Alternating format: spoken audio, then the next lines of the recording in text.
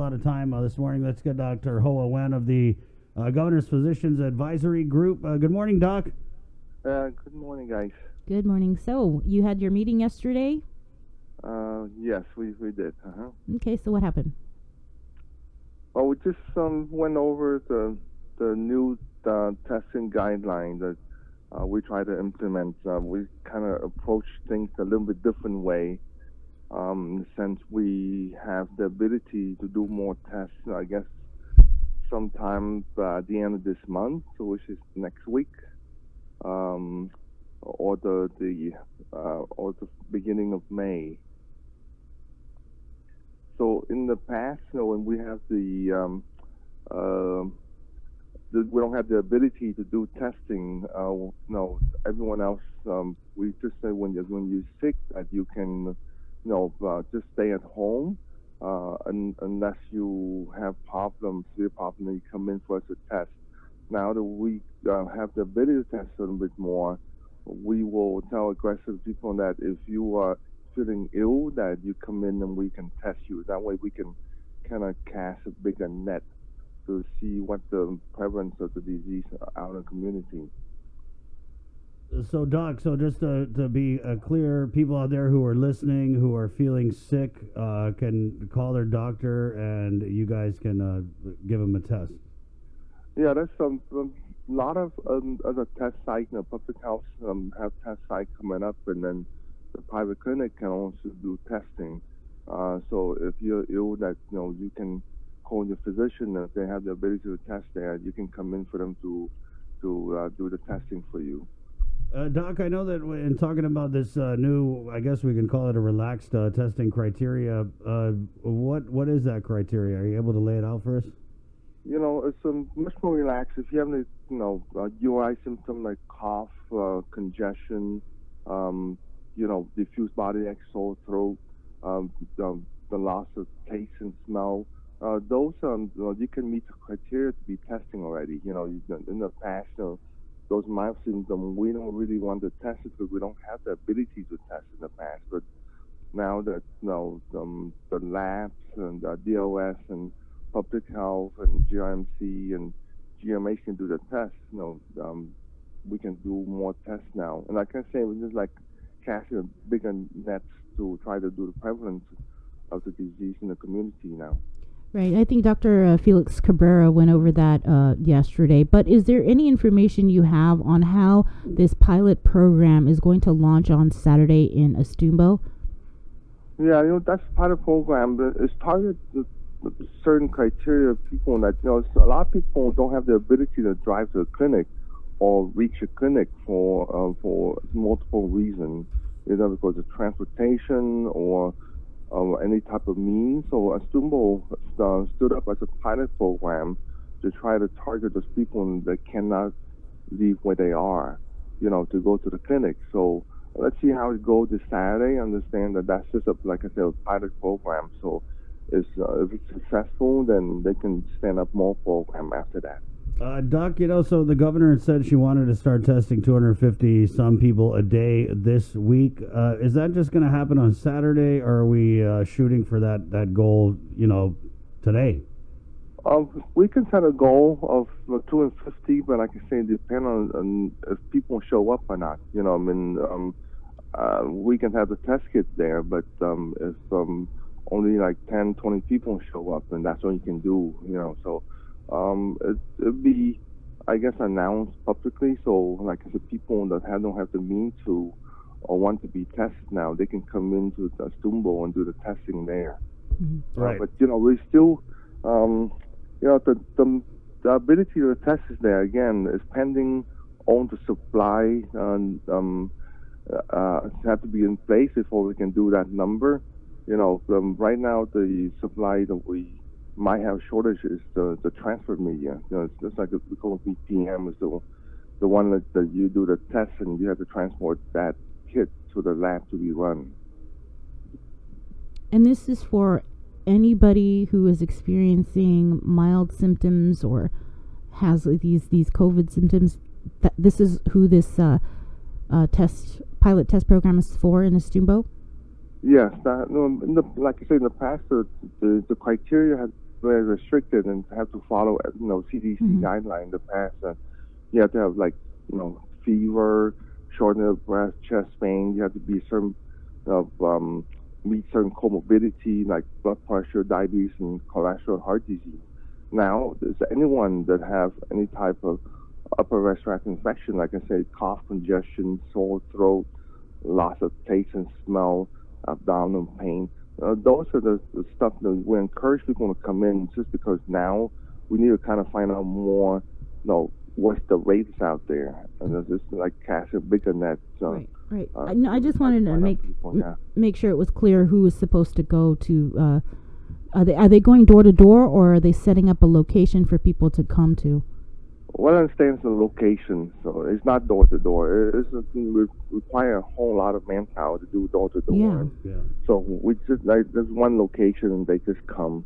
Uh, however, I mean, um, the criteria relax a whole lot. You know, like I said, it's a message in the past. You know, if you're sick, stay home. Right. Um, and the reason you do that because you don't have that much test kit. You know, now that uh, everyone stand up, we have much more ability to find out the true rate of infection. We can encourage them to come out. So that way, if you if I tell you that you have it, you know, we can really isolate and track and, and trace the people to try to prevent them from spreading the infection in the community. Where is this going to be at? Uh, the other location is not announced yet last night. I know it's in a similar area, but uh, I don't know the location. You know, public health still try to talk to the mayor uh, to try to, to to finalize the location for this weekend. Mhm. Uh, doc, we're just getting some uh, comments here. What if you don't have a private doctor or insurance? What about uh, those people? All those those tests, guys, are totally free. Absolutely, any testing for COVID nineteen shouldn't you know you shouldn't pay anything at all. You know, um, uh, it's it's free. It, it's, you don't charge anyone to to for for the test. You know, just including people that go to the, the tier two location right now. Um, it didn't cost you anything to go there. Okay, I think that's how we marketed. You know, people in Guam they love free stuff, so we should just do a big campaign: free COVID nineteen testing. Show up. Yeah. Yeah, I, I don't think that any you know COVID nineteen testing should be charged. You know, this Right. is a is an infection that, that we try to control in Guam and everywhere else in the world. So no one should charge you know to to do the test at all. Is this kind of like the study you were talking about uh, last week? No, no, that's that's different. That's Okay. a study for, for public health and uh, uh, and UOG as a part of it, and, and some you know, physician. That's that's part of serology testing, back up by the PCR test. That's different. You know, um, this is the uh, PCR testing that the confidently test. So uh, this is different. Yeah, just because, like I say, we have um, uh, four different places now that can run the test, so might as well just use them all. Right. Okay. Uh, Doc, how many test kits do we have? Because you said that we now have the capacity, and before we were limiting the priority, uh, the testing to the limited priority group. Uh, so now that we're widening this criteria, what do we have in the inventory that's ready to go? Uh, that's the question. Like I say, when we have the machine, uh, I think the the most important and the limiting factor right now is the transport media. You know, that's the that's the only one. Are you, is it? Is, are you talking about the cooler or something, Doc? That with the dry No, no, ice? no. What is it? What are you talking about? we we call it VPM. Uh, you know how what I can tell you in straight language is that you know when you do the nasal pharyngeal swab of your nose there, you know you have to put the swab inside this tube to have the liquid in there. I see. and we and that is the tube that transport to the lab to uh, for the lab to run your test. And right now, that's the limiting factor, not the machine anymore, because we have enough here in Guam. Actually, we are pretty good shape regarding machine-wise and the ability to do tests compared to the rest of the U.S. Right. Pending that we have enough VPM to go around for everyone to do testing. Well, how how limiting is that going to be? Because we're anticipating rolling out and you know possibly testing hundreds, if not you know, I, I mean, uh, I'm guessing our goal is we're going to try and test you know, uh, 250 people a day. 258. 258 people a day. So if we don't have the uh, VPMs, how many of those do we have, uh, Doc? Do you know? Uh, we I don't know the the, the number. You know, um, the those Pennsylvania um, is available through um, uh, DLS and public health. So um, uh, that's where you know you initially you might have enough, but then if you do that much, you might run out. Just because, like I say, it's it's not just Guam.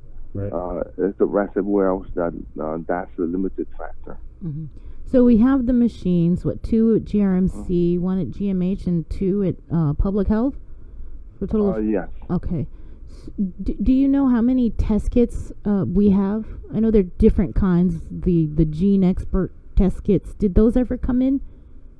Uh, I understand that um, they come in already, and um, This is the 4,000? Yeah, yeah, they're going to be all ready um, uh, by no, you, no. You're talking about the, the rapid test kit. That that that doesn't count. No, Okay. this is you know that's um, that's a wholesaler in the in the public, but that's that's a different type. No, I'm talking about just to run out of the the public health you know, Mhm. DLS and GRMC Mm-hmm. and G- and GMH only. Those are that's the only one we're talking about.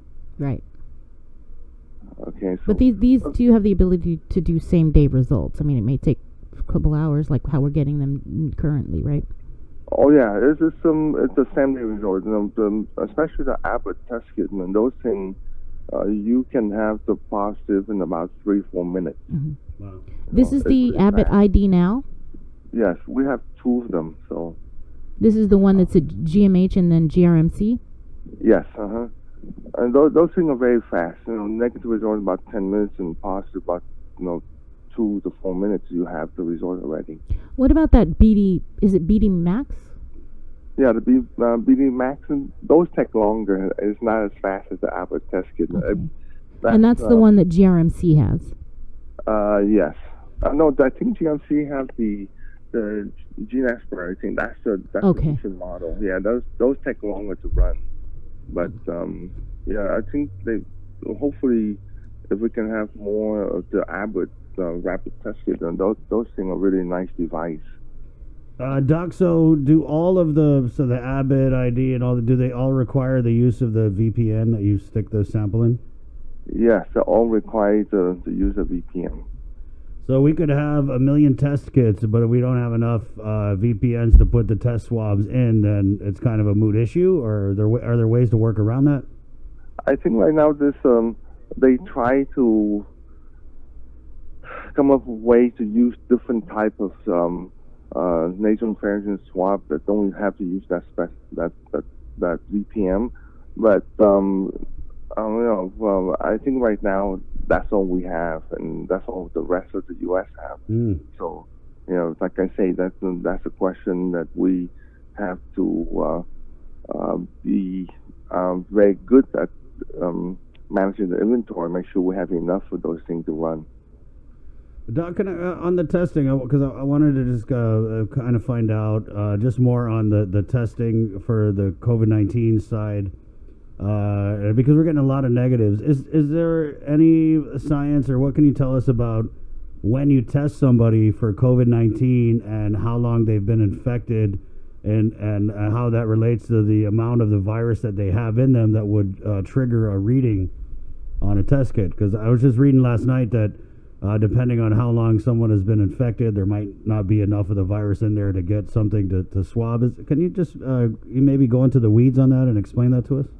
Yeah, uh, that's the question: is uh, when can you test, and if you test negative, is that uh, that mean that you don't have the virus? And that's a million dollar question. Is because the viral load, sometime at the front end of it, you don't have enough vi- viral load to turn positive, but uh, doesn't mean that the next week when you test again that you won't turn positive. So the question is, when do we do enough tests to kind of uh, pick up the true positive?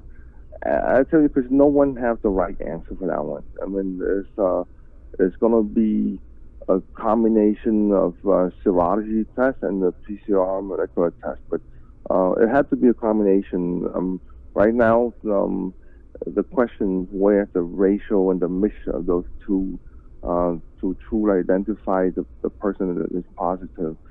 Um, there's not really a good FDA approved serology test yet, right now. Uh, so I think that even in the states, um, uh, they still try to juggle that ratio in order to give you a better uh, um, no, number, the true number. So let's say that you come in today and you have uh, congestion, cough, and you just get sick like a day or two. Um, they might not have enough viral load in all the people in the term positive. Mm-hmm. So, uh, and, and that's um, it's not a hundred percent. Uh, like I say, depend on the viral load. So some people might have it, uh, and some people might not have it. So that's that's the. What's like the? I mean, is there like a, a, percentage, doc, like an accuracy rate with these tests that we're using? Just uh, because it, it kind of seems like what you're saying is if, um, you know, I've got a loss of taste or you know sense of smell or whatever, I go in, I get tested I'm negative, I'm, that kind of seems like you're saying that that might not even mean that I'm really negative.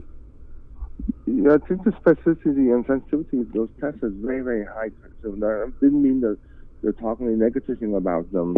They're very high. It's just that if you don't have the viral load when you come in, then you might have negative. But uh, like I said, I mean, those those numbers are very, very small. But we just want to be aware that hey, you know, um, if you have a symptom, we tell you negative, but you know, just have to kind of watch yourself and isolate yourself against uh, your family or the people so you don't spread the, the, the, the virus to other people. I said the key here is to identify them, um, you know, bring them out so we know the true rate out there right. and tell them, hey, you stay home. By this time, you know, and you can track and trace all their contact uh, unlike before, that you know, if you have the virus and you have mild symptoms, especially young, they tell you stay home, and you might not stay home. But if you know you have it, the most likely chance that you will stay home and comply. You know, that's that's the thing. So you don't spread out the, the people around your house and your neighbor or the community if you go somewhere. Uh, Doc, we got a comment here, and I know this is something the governor uh, touched on. Uh, it was uh, people don't want to get tested because they don't want to get thrown into quarantine. Uh, you know, the, the testing, the, the, quarantine is is a um, is a voluntary quarantine. You know, we tell people, we encourage them if they're positive, that to stay home and isolate against the family. It's not like you got thrown into a hotel and it's a it's a involuntary quarantine. It's not you know, um, so it's, it's not a concern. You just want to know if you have or not, but no one is going to lock you in one place to quarantine you. But if you're if uh, public health goes to your house and they uh, make a determination that your house uh, is not able to sustain a CDC recommended uh, you know self isolation uh, because there's you know it doesn't have its own bathroom or whatever, and then the governor had said that at that point they would uh, stick you in the facility. Yeah, you know that's that's an elective thing. You know, and um, Chris and Sabrina, the, the things like this. If you know that you're positive, and you if you live in a household good that have uh, very young children, or you have an elderly, or someone living in a household good that have a high risk um, of have complications from the infection, uh, of course, you know they're going to talk to you and I explain to you, educate you. So that's the reason why we recommend that you stay in a hotel or quarantine during the isolation, you know, along with one person in your family, so that way that you can take, you know, you don't transfer that infection to a person that have a high risk of have complications from this. You know, you don't want your your parents or your grandmother, your grandfather to have complications, end up in the hospital. So that's the key. So and uh, they're not going to take you in a police car. They're going to explain that to you, so you, you at least you you have an option and you have more educated, you know, decision that hey, this is for the best of my family. It's, it's, it's not that the governor tried to force you to do something. It should try to protect you away from your family that you can give to someone, your loved one, and make them sick. So that's a protection the governor want to give to you. Is not to force you. Mm-hmm. I, I just wanted just some, some more clarification about what's going to happen on Saturday. When when people come in and they get swabbed, are they going to find out the results uh, there, or they're going to have to wait until? Uh, where are these samples going to be taken? You know, that's um, you know, I'm not quite sure on that one, but I'm pretty sure you find out either the same day, the next day. You know, that that's the goal is to give you an, an answer very very quick, so that way you know, the public health team can go out there and contact you and do the tracing mm. and all that kind of stuff. So, yeah, the, the thing here is get that turnaround time really quick so that way they can, uh, you know, they can do their job. These Abbott IDs, are they mobile? Are you able to, to take them to Astumbo or they have to stay in the lab? Yeah, that, that looks like it's pretty mobile. It's a pretty they're small, small. device. Yeah. yeah, they not, you know, um, so you don't know if that's the plan to bring the Abbott ID um, yeah, now to Astumbo? I asked a question last night, but um, I, but the key here is to get that resort out as soon as possible. So they're not going to, you know, um, sit there and prioritize and run you know, whichever high priority for. They're going to run. They're going to for them to run this test. So I'm pretty sure it's the same day, the next day they find out already. So. Mm. Um, that's the wonderful part is the ability to complete the test and let you know right away. Yeah, that yeah. I just wasn't sure how this was, yeah. you know, the specifics of how this is, was all going to go down. Because if you're saying that the Abbott ID can can give you results within two minutes and they're also deployable, then you could ideally just bring the Abbott ID to wherever this place is in Astumbo and then give people their results. Yeah, and you so can keep a running tally. Mm-hmm. And that's something that I think um, a discussion to see if we can request more of those Abbott, you know, uh, ID tests, the device here. You know, cause that's really wonderful. That's um, it's so fast. It's mm-hmm. amazing. Mm-hmm. Yeah. Wow. Well, Doc, uh, when we do this testing on Saturday, do you think we're going to get zero positives? Uh, um, hope. everyone hope. You know, uh, that's the thing. You know, so far, the the last um, seven days or so, is is very good. Like I say, when um, this weekend is uh, is the uh, um, probably a highlight because the Easter weekend, you know, um, uh, it's, it's seven to you know five to fourteen days there. So we see this weekend hold true on uh, on the zero testing or not. Mm-hmm. Do, do you know what the sample size is? Uh, like I say, depend on how many people show up uh, guys. I mean, we can put the the the um, the location and the availability out there. It depends on how many people show up for the testing, uh, and so that's why you know it's going to be in one area where people have uh, limitation on access to a clinic. So that way we can see. It's like I say, it's a pilot program to see if we can put the uh, test location, a pockets Guam but it's easier for people to access the test. Mm. Yeah, I, I was I was just curious because I'm just wondering what contingencies are in place if, if the sample size is say 200 and you have 100 or so that test positive and the people that are coming out um, that take these tests don't have, I guess, the CDC requirements for home isolation. Right. They're not going to because we're talking about vulnerable population of you know people living in poverty, like a lot of people. Because you have to have you know the the separate bathroom in the room. You know what I mean? I, I think that um, they that have secured uh, different hotels throughout Guam mm-hmm. um, for for isolation. For, for isolation, uh, if the people wish to to leave their house and go and stay there uh, for isolation. So, um, like I said, I mean, those are, are, are public health when they come out to a, a positive finding and they talk to the family. Uh, it's part of them educate the people and the family and the family on, on, on what um, what their option is and let the family choose their option. You know, well, like I said, it's not a forced quarantine. You know, they're going to explore everything with the family uh, to make sure the family understand, you know, what the idea of isolation and how to go about to do that.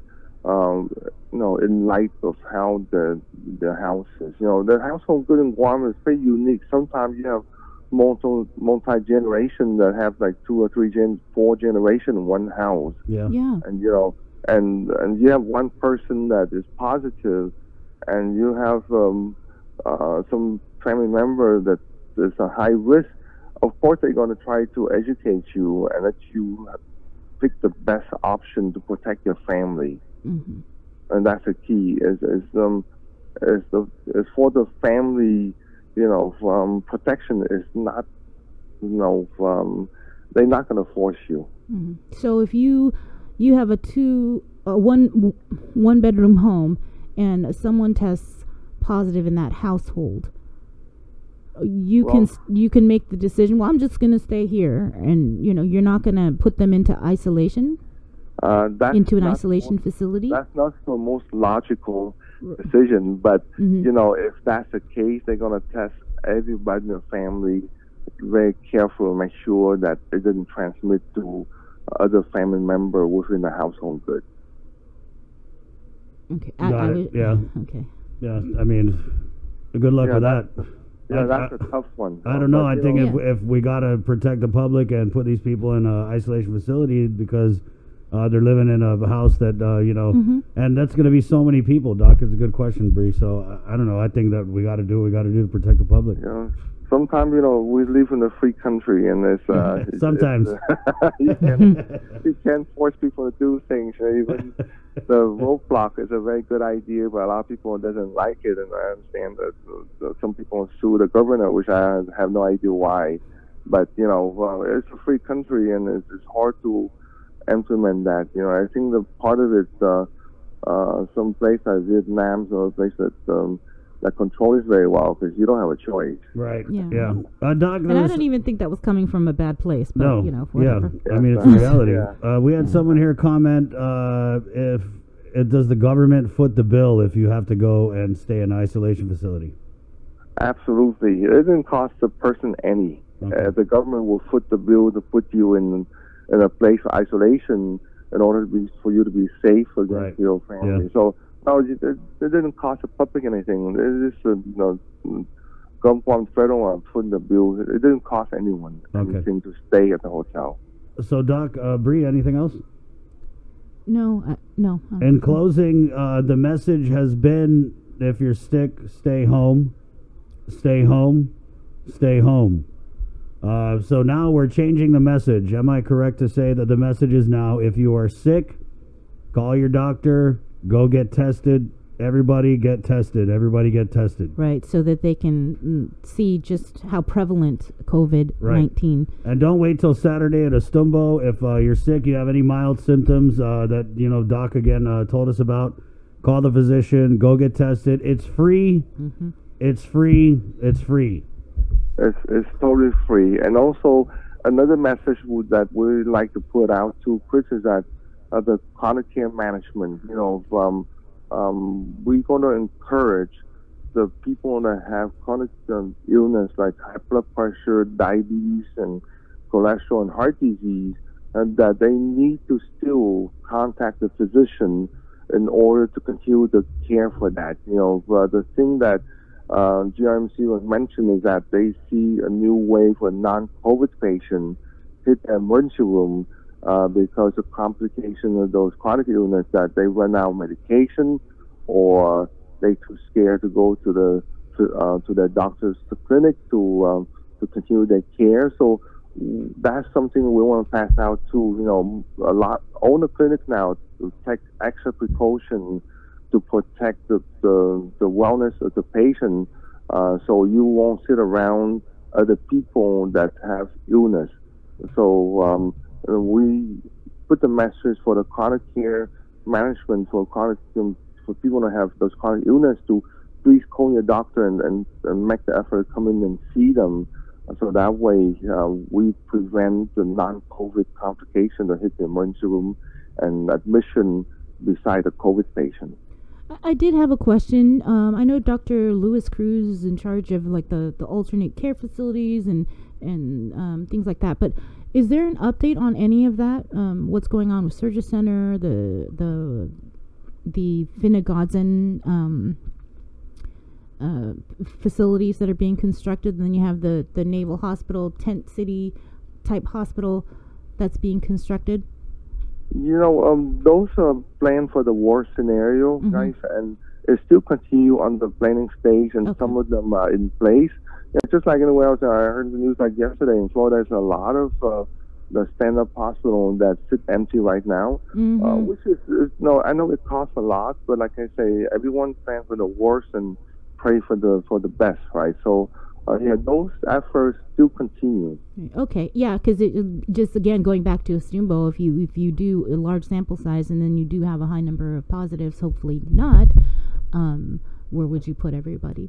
Yeah, you you, you have a lot of places, including Guamson Center, and you know you pass by Nicktam, you see lots of pallets there. You know, there's a whole uh, little portable hospital Mhm. stand up there uh, to support the Navy, and once the Navy um, um, case is over, you know those remain open for us to use Mhm. in case of. When when need is it. that going to be, Doc? Because I mean, geez, they're looking at what almost 700 uh, I think the positive cases. uh, Manoni Yeah. said that it's almost um. Uh, Yeah, finished. I mean, you, you you pass by Nicktam and you go to the hospital. Those things are up already. You know, Yeah. they, Yeah. they uh, so they are there. Like I say, they're not going to put them away once the Navy move out of here. You know, they they still going to remain open in case of Guam needed. So they they here to support us. yeah.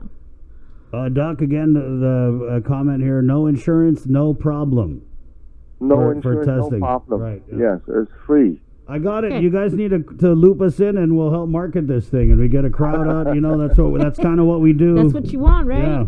That's why why that's why we, that's why I'm on the radio with you for is to, for to help- you know to help us you know put out this public you know, notice so people know that it doesn't cost anything. okay. That's all you got to say. It's free. People are like, "What? What's free?" Okay, I'm here. uh, serious, Doc. I'm serious. actually. Okay, but thank you so much for passing out the message. Of though. course, Okay. Dr. Hoa, thank you for giving us the message to pass out. You're welcome. Okay. Okay. Did you drink your coffee already, Doc? You okay? Nah, I'm done. it's okay. You waking up this morning. Just kidding. I'm up already. Okay, Doc. Thank you so much, and wash your hands, okay? okay, okay. Thank you guys. Have a Okay, there you go. Okay, bye. Bye-bye. There you go. So we have a new message for you guys. We are deputizing each and every one of you watching out here. The new message is get tested. That's right. Get tested. Get tested. No insurance, no problem. Mm-hmm. It's totally free. All right. So if you have any anxiety, who doesn't? Who doesn't want to get tested? Yeah.